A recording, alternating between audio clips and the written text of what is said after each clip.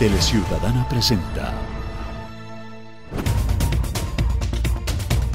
Rueda de prensa sobre el proceso de transición de gobierno.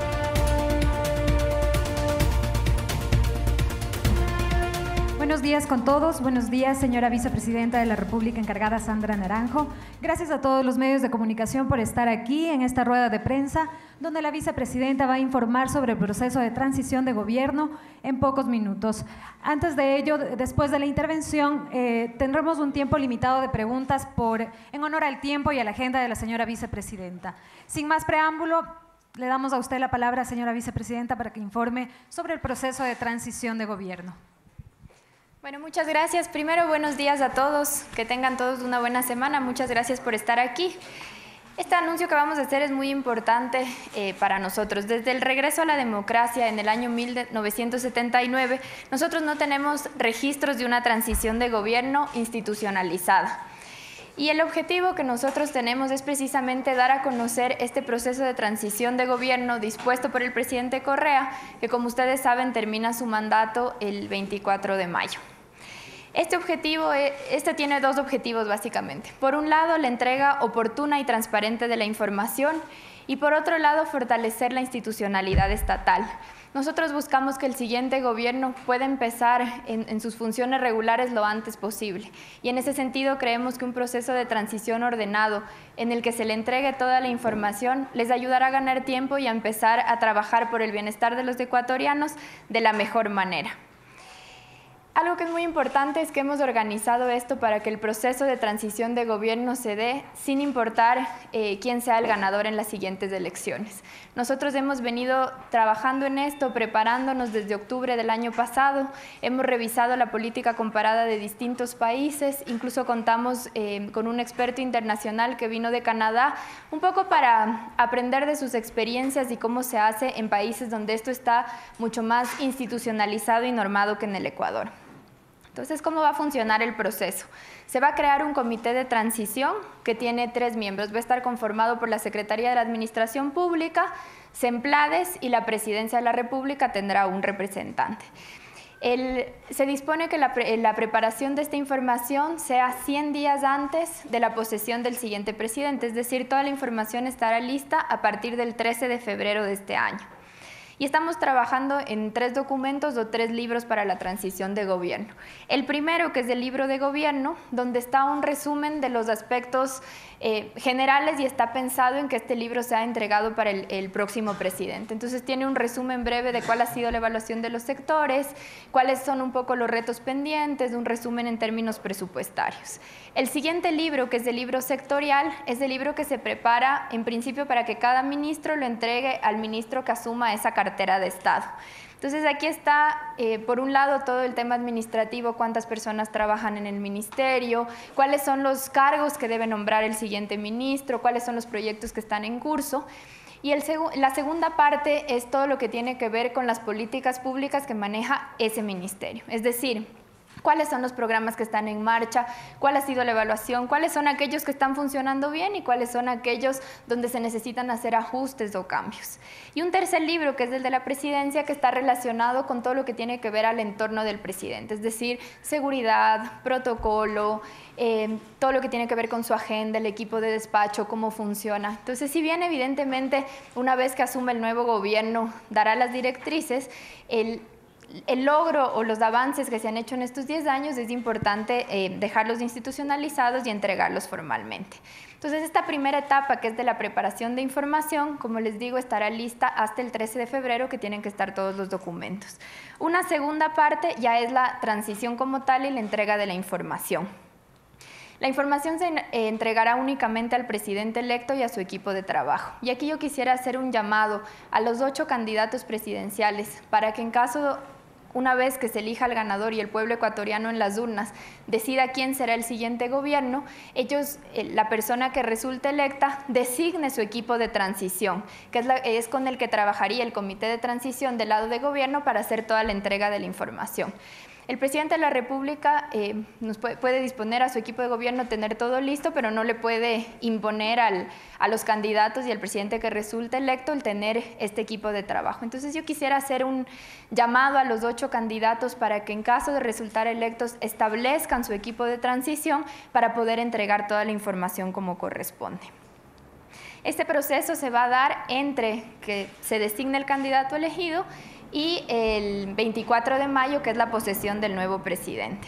Entonces yo quisiera terminar esto haciendo un llamado para que nombren a su equipo de transición en caso de resultar electos, que superemos las posibles diferencias que haya ideológicas y que empecemos a trabajar juntos por un mejor país. Y nuestro compromiso como gobierno con la ciudadanía y con los siguientes candidatos es precisamente hacer este proceso de transición ordenada, entregarles toda la información de manera oportuna por el bienestar del país. Muchas gracias. Las personas que tengan alguna pregunta para la señora vicepresidenta, relacionadas al tema, por supuesto, Adelante. Eh, buenos días, señora vicepresidenta. Roberto Rueda de Expreso le saluda. Eh, quería hacer eh, dos consultas básicamente. La primera es, ¿quiénes son las tres personas que estarán a cargo de desempleadas de, la presidencia? ¿Tenemos ya los nombres de esas personas que van a estar a cargo de este proceso? Lo primero. Y lo segundo es, ¿la información se entregará de los 10 años de gobierno o solamente desde 2013, que es el último periodo del presidente Correa? Ya, muchas gracias por la pregunta. las personas, en principio, están los que encabezan cada una de las instituciones. Entonces, por SNAP está Luisa González, en el caso de Semplades, estoy yo en el intermedio y Adolfo Salcedo, que es mi viceministro, y en el caso de la presidencia está Cristian Castillo. Estos tres conformamos el comité, pero evidentemente hay equipos de trabajo que están, eh, que están, digamos, en coordinación con los ministerios para poder levantar toda la información. Y entregaríamos la información recopilada, un resumen de estos 10 años. Hasta. Eh, vicepresidenta, Sujei de Diario Universo, buenos días. Eh, usted tanto como, como, vicepresidenta y también al frente de Semplades, este proceso de transición en el tema de, eh, de, eliminación de ministerios que hubo por parte del presidente Correa, ¿cómo va a quedar? ¿Cuántas instituciones van a quedar? Y usted también debe conocer cuánta gente trabaja en el sector público y qué va a dejar al próximo gobierno. Bueno, muchas gracias. Ese es un tema importante y de hecho estamos creando un capítulo especial de todo lo que tiene que ver con la institucionalidad del Estado. Uno de los grandes avances que se dio fue normar, por ejemplo, ¿Qué, va a ser, ¿Cuándo va a ser un ministerio de línea? ¿Cuándo es una Secretaría Nacional? que es cuando son los temas transversales? ¿Cómo se crearon las agencias de control, las empresas públicas? Todo el proceso que se dio incluso dentro de los ministerios para tener, por ejemplo, las coordinaciones administrativas, jurídicas, de temas básicos un poco eh, homologado, digamos, en los distintos ministerios. Entonces estamos preparando ese documento. Evidentemente el siguiente gobierno tiene la potestad de decidir si mantiene el esquema. A nosotros nos ha funcionado muy bien. Creo que ha habido varias lecciones aprendidas que las estaremos eh, dejando plasmadas en este documento de institucionalidad específicamente para que en buena hora, si en base a esa información pueden continuar con aquello que a nosotros nos ha funcionado bien y si a lo mejor consideran que le quieren dar énfasis en particular a algún tema y necesitan cambiar la institucionalidad en función de eso, lo puedan hacer, pero ya tienen una base sobre la cual partir. ¿Tienen alguna otra consulta? La compañera, disculpe. Eh, Perdón, no le respondí completa. Sí, Patricia Carrera del Telégrafo. ¿Cuántos ministerios serían en todo caso los que eh, y, trabajadores que, tendrían o estarían eh, saliendo o, cuáles quedarían la cifra estables? De la cifra de trabajadores no la tengo en este momento en mi mente, pero lo que sí les puedo decir es que en, en este libro sectorial que yo les decía, se está dejando una, una, de los componentes es precisamente detallar cuáles son los funcionarios que están, en qué en qué tipo de contrato o en qué modalidad contractual se encuentran, cuáles son en cada una de las distintas áreas para que eso se le entregue al, a los siguientes, a cada uno de los ministros. Y en el caso del presidente se entregará la información consolidada, no solamente del número de funcionarios, sino también de cuál es la estructura y el organigrama actual de las instituciones. Eso se va a dejar.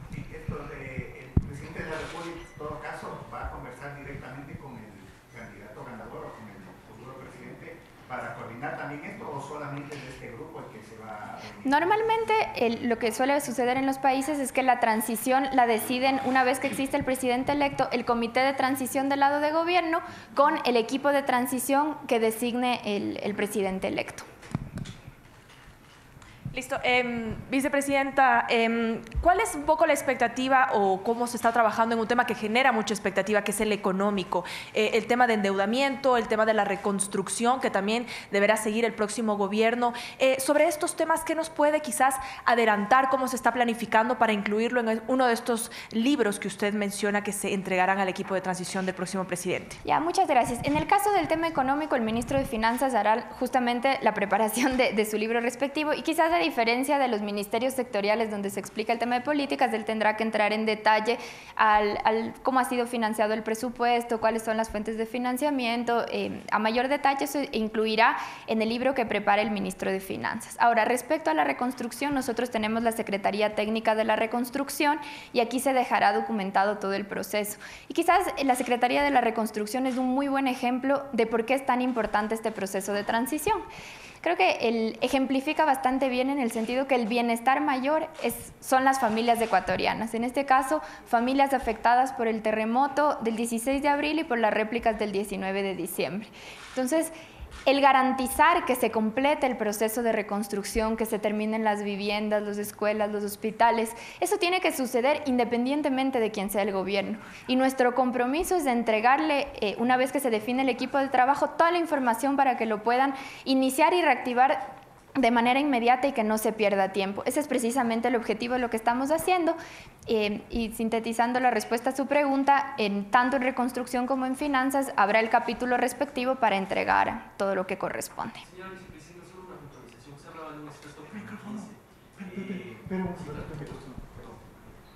Eh, señora vicepresidenta, otra consulta más. Eh, usted hablaba de un experto canadiense. ¿Nos podría dar el nombre de esta persona, lo uno? Y lo otro es si además va a haber alguna entidad internacional que ayude en este proceso de transición, como se dio ya en el municipio de Quito, cuando Naciones Unidas apoyó en este proceso de transición entre la alcaldía del doctor Barrera con la de Mauricio Rodas. Bueno, la transición la vamos a hacer dentro del gobierno. Lo que nosotros hicimos, como les digo, empezamos a trabajar en esto desde octubre, fue empezar a ver política comparada para saber cómo lo hacían los otros países. Ahí contactamos al Banco Interamericano de Desarrollo, que fue precisamente la persona que, eh, más bien el equipo de trabajo que nos contactó con esta persona canadiense. Su nombre es Sylvain Dubois y él fue, estuvo aquí en el Ecuador tres días trabajando con nosotros, trabajando con el equipo del comité. Evidentemente, Canadá y Ecuador tienen sus diferencias y nosotros lo que hicimos es entender cómo funciona el, proceso canadiense y tomar aquello que considerábamos importante y que aplicaba para Ecuador. Listo, eh, agradecemos la presencia de todos los medios de comunicación por estar aquí. Aquí concluye ya la rueda de prensa de la señora vicepresidenta de la República encargada, Sandra Naranjo. Muchas gracias. Eh, usted hablaba de los proyectos que van a quedar también eh, pendientes. Eh, ustedes en el último gabinete con el presidente evaluaron ese tema, incluso dijeron que habían inaugurado una obra por día.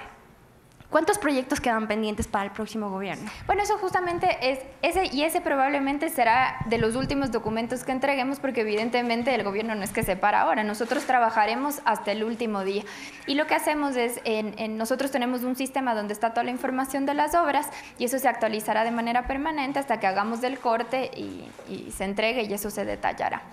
En este momento no tengo la cifra en la cabeza. Les agradezco mucho a todos. Muchas gracias. Muchas gracias nuevamente a todos los medios de comunicación por estar aquí presentes.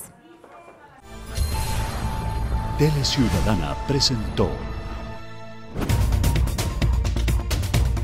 Rueda de prensa sobre el proceso de transición de gobierno